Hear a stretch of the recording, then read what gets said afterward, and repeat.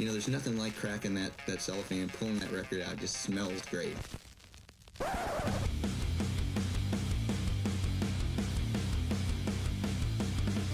Welcome to Bod's Mayhem Hour Non-stop hardcore energy. I love the show, guys. You're awesome. unlike any other. with your host, John the Bod, aka the Bodfather. Man, this stuff rocks.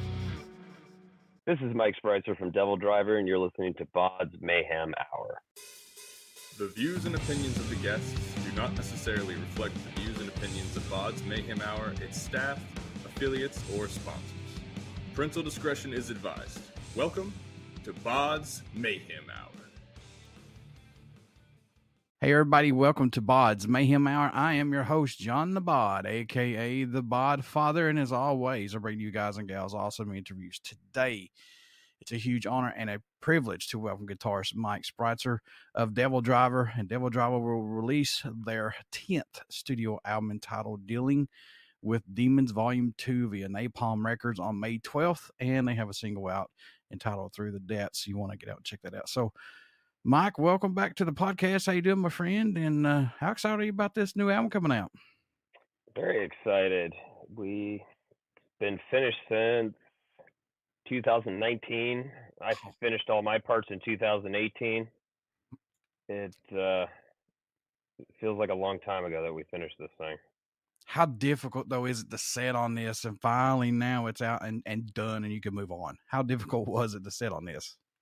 Not that difficult. I was happy that we got to be able to release the first volume. It was kind of a blessing in disguise because, you know, we had never done a double record before. I don't think we ever will ever again. Mhm. But because of the pandemic, it got us something to release, you know, when everything was on lockdown. And luckily we were able to have a second half for when we were able to go out, actually go out on tour and support it.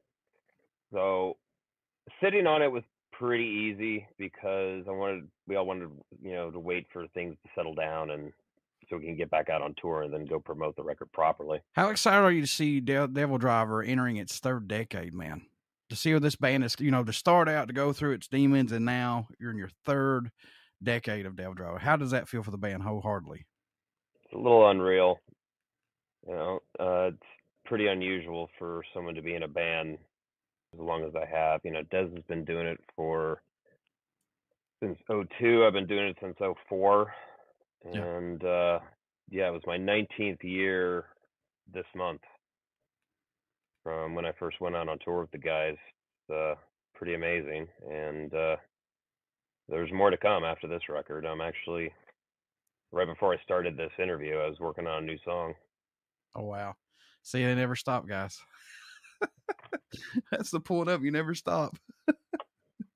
Try not to. so I want to talk about this a little bit. Now we know this is a double CD, double album. Why release it separately and not traditionally just as a double album? Was it just something to say, okay, we've got something to release later on. Let's let everybody, you know, uh, get their chops on this one, and then we'll release the other one later on.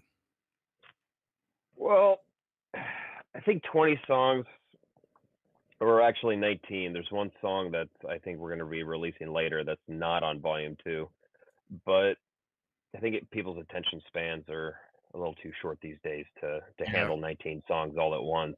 And I mean, even for someone like me who um, does music for a living, I would 20 songs would be a bit much, but we wanted to release it them six months apart or maybe a year apart. We hadn't really decided, but we sure as hell didn't want to wait four years in between or three years in between releases. So, are you one of those guys who are now like like have strayed away from the full length? You just want that EP since everything is how it is. No. nowadays? Ah, okay. No, I don't ever feel like doing EPs. I like doing full records. Not Fine. to say I wouldn't do an EP, but I don't. I just don't see Devil Driver ever doing that. You know, if we're gonna get into the studio and we're gonna spend all the time, you know, as far as setting things up, getting into the vibe of things, you know, sometimes your best material isn't songs one through five; it's songs six through twelve. You Oh, know, yeah. There's kind of a, there's a rhythm that you get into, and uh, for me, I would imagine the first couple songs that I work on on a record never see the light of day. Did you think, Mike, the band would have 10 albums at this point in the Devil Driver music library, or should there have been more possibly? I think 10 is enough for how long we've been together. You know, we've almost consistently, you know, given everybody a record every two years or so. And I don't think I would have been able to crank out more material in that amount of time. It seems even when uh, Devil Driver was on hiatus and Dez went to go do Coal Chamber, you know, I was still working on Trust No One or, you know, the country's record. It's just nonstop. What's been the most heated discussion the band has had about a song being worked on for an album or maybe just an album name in the studio possibly? I know there's got to be some to where it's like you want to strangle each other. if anything. Uh, the biggest argument the band has ever had about a song, I would like, as far as you know, there's been arguments from between uh, individual, you know, maybe two members or three members, but as a whole band, it was the end of the Axe Shall Fall on uh, Last Kind Words on um, that Hammond that's in the end. Mhm. Uh, there was a lot of debate of whether or not we should have put that in there, and it um, wasn't the prettiest conversation, but a decision eventually was made.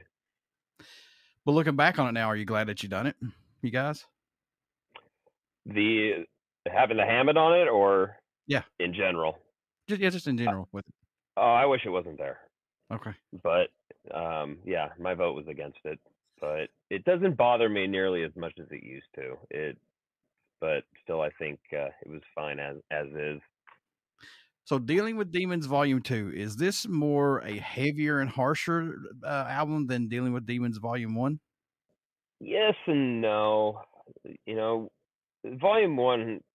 The one thing that I think that makes it overall a little bit more of a mellow record compared to volume two is just the fact that we have the song "Wishing" on there, and it's something I would definitely not call that a brutally heavy song, but it's just it's one of my favorite songs on volume one, and there's no repeats. There there isn't like a "Wishing" part two on volume two.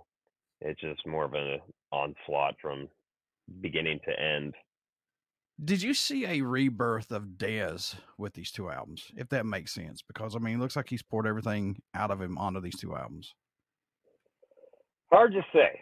I'm never around uh, when Dez does the vocals. You know, he likes being by himself with just the producer, and I can't blame him. You know, having too many cooks in the kitchen and singing is such a personal thing. I would, you know, if if it were me, I would wouldn't want any- anybody around.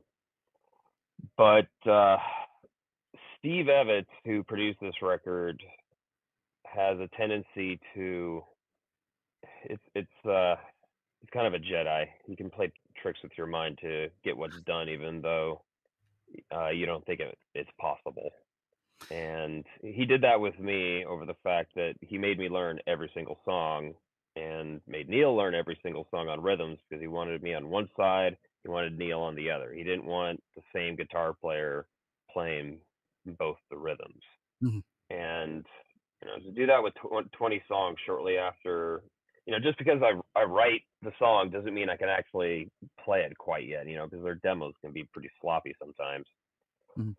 But he did, and I would imagine that he went through the same process with Dez when they were in the studio, and um, he just he's very he's very encouraging in a very positive way, and will uh, make you want to do better. He did with This- me, so I imagine he did with Dez as well.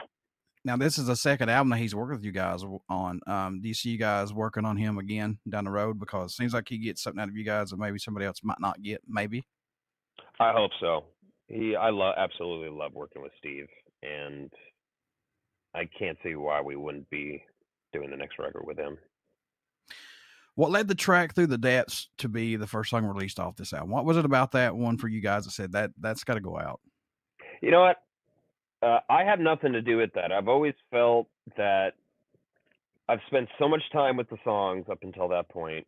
Mhm. I have ones that are you know I write wrote more of. There's songs on here that Neal wrote more of, and I'm too close to him to make that kind of call. I actually prefer, you know, someone like an outside listener to listen to the whole record and find out what sticks out with them, and actually have a few people do it, and just in the long run go with what your sources uh, are telling you. Because for up to me, I would release my favorite song, but that's not necessarily going to be the best song for the public to hear uh, for the record. Was there a track that you guys were working on that totally ended up sounding different than what it was intended to for the album? Kind of hard to say because it's been so long. I honestly can't remember, but we did take more songs than usual and uh, put them on a seven-string guitar and just tune down to drop A from drop C. Uh, Bloodbath, which you guys haven't heard yet, which is one of the is uh, one of the songs that I wrote in drop A. I think that one was always on there, but there there was a song or two or three songs on volume one or two. I can't remember that uh, we switched the tunings at the last minute, and that can change the vibe of the song quite a bit. But for the most part, a lot of what changed in pre-production were the drum parts. Steve really worked Austin on on this one, probably a little bit harder than Austin would have liked, but we spent two weeks, just me, Steve, and Neal and Austin in a studio, uh, just playing the songs over and over again. And 90, 80 to 90% of the changes were to the drums. I know these are your babies. I get that. But are there any tracks standing out more to you than any right now on this album, possibly? Hard to say. Hard to say. Um, let's see. It's been so long. I just because the record is coming out soon doesn't necessarily mean I have been listening to it. uh, there's this actually, you know, there's a song called uh, "Summoning" that uh, I would say "Summoning" and "Nothing Lasts Forever" are two that really stick out to me. Um, Summoning has this part where Austin is doing slams with his kick drums, and uh, when he started doing that, it was one of the moments in the studio. I was like, "What are you doing? Are you doing slams with your with your feet?" And he just looks at me with his Austin look. Yeah, isn't that cool? You know. And uh, you know, that was one of the cooler moments in the studio. It was something as silly as that, just the fact that he was doing slams on his feet. I just had never really heard anyone do it like he's he's doing it on uh, on summoning. So listen out for that. Was the track listing placement important for this album? I know you've got 20 songs, 19, 20 songs, but I mean, was the track listing placement important for these two albums? Yes, I think it's always important. I did not have anything to do with that either. Okay. And I'll the the uh the order of volume 2 has probably changed four or five times since we finished the record. Even with like the order that I have in my phone right now is different than what you guys have and I I need to go through and relist it so I know where where things go, but uh I think the label changed some things up at the last minute and the uh the news never made it to me. Oh, no. You didn't get that email, folks. You, you- what, what happened? I did not get that memo. Look, I know songs don't make albums for certain reasons, but are there any songs that was left off that should have been on this album, in your opinion, possibly? No, there were there were a lot more songs. Neal had way more than I did, and there were one or two that we had started to work on because you know we had a solid 20 songs or I'd say a solid 17 songs and then there were probably like between 4 to 6 that we couldn't figure out which ones were going to make it or not. And yeah, there was a couple that I wrote that didn't make it, and one of them just straight up sounded too much like another song that I had written, and that that made it an easy decision. Like, eh, this song just sounds too much like that one. Let's just get rid of it. And Yeah. So we so we did. So, what's the growth musically, though, you've seen from yourselves working on these two albums compared to others? I mean, I know that each album you grow musically, but What's impressed you the most from everybody that you've seen grow on this album? I've definitely grown into a way where I write solos a lot differently than I used to, and I'm always a. I've never been a big fan of doing making guitar parts that are very dissonant, and all of a sudden I'm all about dissonance. You know, John Boecklin tried to pound this into me for years and years and years, and I was very reluctant to that style.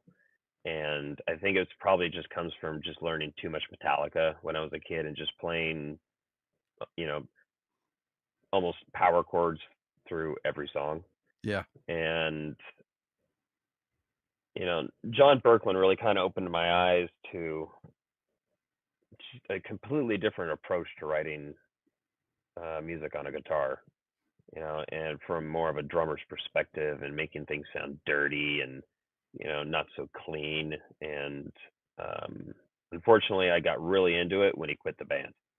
Hmm. and for some reason now i'm all about it. I love using dissonance. I like putting these weird major minor seconds together in solos and making it sound like shit and then have it resolve but um that as far as me personally that's how i've grown. As far as the band during that time you know we had some different members in the band back then obviously but uh this is the first time that we sat down with a, a producer got into a room for two weeks and did pre-production you know usually we just go straight from my studio you know from recording it here into studio with uh, another producer and just kind of you know do drums do guitars make little changes here and there but we always kind of skip that pre-production phase and we we did, we did it on this one for the first time ever and it proved to be very helpful All right. So, what's been the most memorable show that Devil Driver has been a part of that you still can't believe that this band was? Is there is there is there one show? I mean, just something that the band's been part of that you're like, I can't believe we're doing this, or I can't believe we're a part of this. the one that sticks out is the first time we played moscow Oh wow. Okay. it i mean the story about what happened before getting there being on no sleep whatsoever and you know th- th- they are absolutely chaotic the most chaotic crowd i've ever seen in my life and um regardless of how shitty the trip was to get to that show and how horrible we felt, how tired we were, hungover, whatever. When that show was going on, it, it made it all worth it. So, did you guys have your like little uh Monsters of Rock thing like previously, like that show? Because that show was crazy too. Did y'all have the military in front and everything as well, or no? No, nothing like that. No, It was just, it's surprising how crazy they get. Just full blown mosh pit going on, crowd surfing, people jumping up on stage. I think we had like six or seven people up on stage with us, just constantly throwing people back into the crowd. Wow. Um, my guitar tech at the time just disappeared into the crowd one time when he had a bear hug somebody, and the guy was too strong for him just to throw him back into the crowd. So he just basically bear hugged him and just started to tip over until he got him off stage. And at some point, he made it back into the crowd and he didn't get hurt, but it's just nuts. You know, uh, the Ukraine, Russia are always memorable shows. And then if I had to pick one other one, would be uh, headlining over Cannibal Corpse in London. And uh, you know, I just I remember being a kid watching Ace Ventura, and put you know putting that movie on pause, skateboarding down to Tower Records and buying the Bleeding immediately. Oh, that's awesome. and uh, you know, I must have been twelve, maybe thirteen years old at the time, and you know, Cannibal Corpse goes on to be one of the biggest death metal bands in history, and uh, we're playing after them in London. That was that was a little bit surreal. And now George is doing his uh what was it project something um I can't think about his project he's doing. Um I can't think of it either. I haven't heard it yet. it's pretty cool. it's actually pretty cool. But think about this though, man. You guys are going over to Moscow and places like that. These kids and adults, I mean, these adults as well, they're getting to do something that they hardly ever get to do. They get to, you know, release everything and just have fun, you know, and just listen to some music and have a live show and just let go of everything. That's huge, you know, because a lot of them don't get that until they get to go to a show. Never thought I would go to Russia. I mean, I've been to a lot of places I thought I would never go. South Africa being another one, but and uh, Japan took us a long time to get to Japan, I'd say so. and uh, yeah, we just we've only been twice, but we finally started going. You know, God, I think it took about somewhere between ten to thirteen years to get there after we became a band. Do you see the crowds over there? I know you mentioned this a little bit, but do you see the crowds over there even more crazier than American uh, crowds? Or no? Yes and no. It depends on where you're playing in America. Okay. Gotcha. Um, you know, I could, you could give me the name of almost any city, and I can give you a, tell you how crazy the crowd will be on a scale of one to ten pretty easily. but uh, they're great. You know, it's a, it's a di- totally different culture over there, and a lot of things about it I really like. You know, everyone's extremely clean and polite, and you know, you could have this massive metal show going on, and everyone will leave, and there won't be one single bit of trash on the floor. Nothing. oh, that's that's just- crazy. just spotless. Well, and over here it's like trash city. Yep. It's truth, folks. It's truth. Eh, Pick up after you, you messy motherfuckers. All right, now we're going to throw Devil Driver out the window here for just a little bit. Okay. So if if you could be a member of an iconic band and play one of their legendary shows, you, you can be a member of that band. Just you know, if you want to be Kirk Hammett and Metallica, that's fine. That's what I'm throwing out here. Which band would it be, and what show possibly would you want to play? Dude, I wouldn't want to be Zim Zum and Marilyn Manson on any of the shows on the Antichrist Superstar tour. Okay, that's a first one on here. That uh that would be pretty cool to see that. That's awesome. I mean, I got to. I, I that was the second concert I went to. You know, I got to see Nirvana when I was like ten. Really. No, I was twelve years old. I think. I think that was in '93. And then my second show was in Santa Monica, California, at a venue that I've never been to since. But it was uh, to go see Marilyn Manson um, shortly after he released Antichrist Superstar, and dude, that show was fucking cool. Oh wow. And you know, that's back in the days when he was just on fire. Oh, that was yeah. That was probably the time where nobody wanted to touch him. Like the protesters was out and everything, and just oh my god. yeah to me there's uh manson in that era there's there, there was no better front man at the time and i, I still agree. don't think anyone could beat him i mean it, what he was doing was just mm. incredible Oh yeah, he he he played the part perfectly. I mean, he you know he did it to a T. And I'm just glad you got to see Nirvana. I would have loved to got to see Nirvana before Kirk passed away. You know, I mean, I still like Nirvana. I still like their music. me too i like them a lot better than foo fighters uh, All right, folks. Devil Driver will release their 10th studio album entitled Dealing with Demons Volume 2 via Napalm Records on May 12th. Get out and check that out. So, Mike, my friend, how can folks stay in touch with Devil Driver, buy this new album, everything under the name of Devil Driver? How can they do that, sir?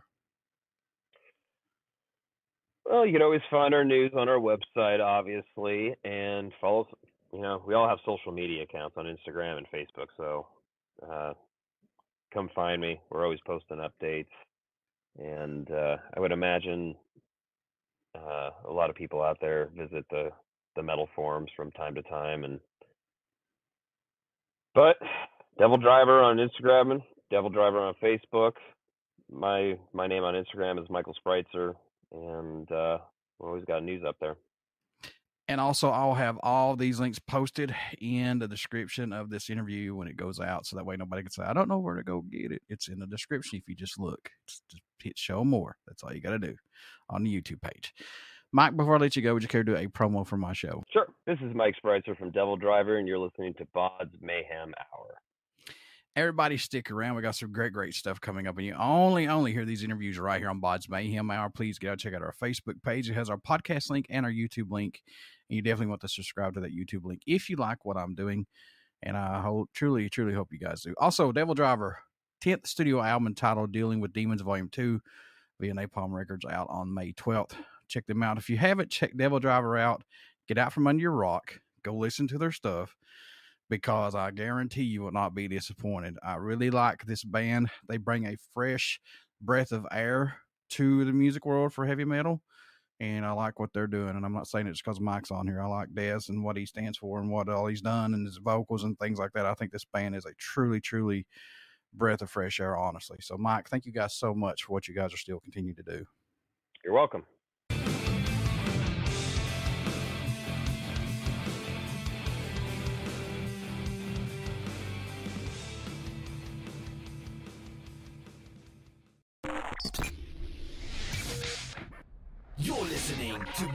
Bod's Mayhem Hour. Follow us on Facebook, Twitter, and Instagram.